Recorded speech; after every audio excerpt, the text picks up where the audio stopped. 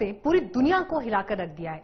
चीन की तो कोरोना वायरस ने कमर तोड़ दी है। भारत में भी इसकी दस्तक हो चुकी है। डॉक्टर्स खुद सावधान हो गए हैं।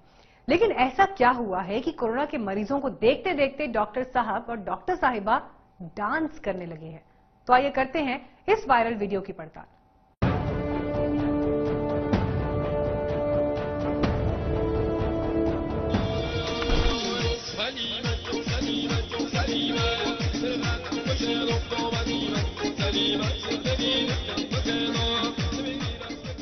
एक तरफ़ तो दुनिया कोरोना वायरस से खौफ खा रही है तो वहीं दूसरी तरफ़ ये मेड इन चाइना वायरस आधी दुनिया के लिए महामारी बन चुका है।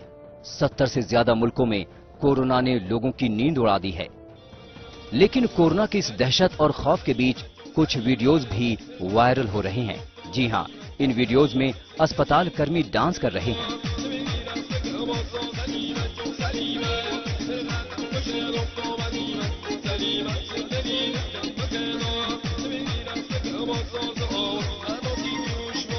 कोरोना वायरस के मरीजों के सामने ठुमके लगा रहे हैं।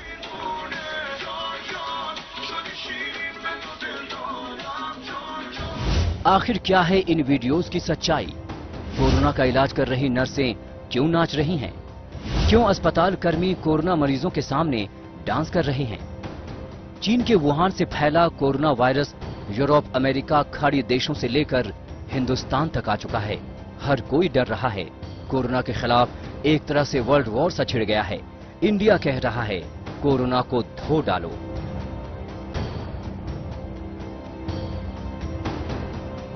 डोनाल्ड ट्रंप कह रहे हैं उन्होंने कोरोना के चलते अपने चेहरे को भी नहीं छुआ है And I haven't touched my face in weeks.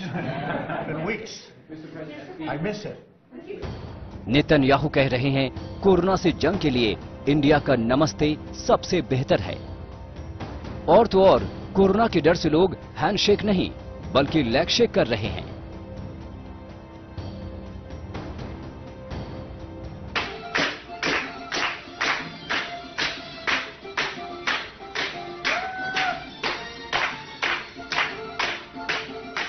लेकिन ईरान में कोरोना वायरस की दहशत के बीच अस्पताल कर्मी नाच रहे हैं।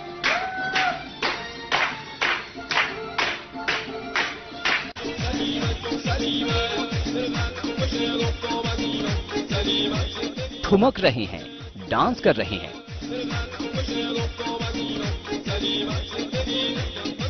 एक बारगी माथा ठनकता है कि आखिर ये क्यों हो रहा है? जबकि चीन के बाद सबसे ज़्यादा कोरोना वायरस ईरान और इटली में घातक बना हुआ है।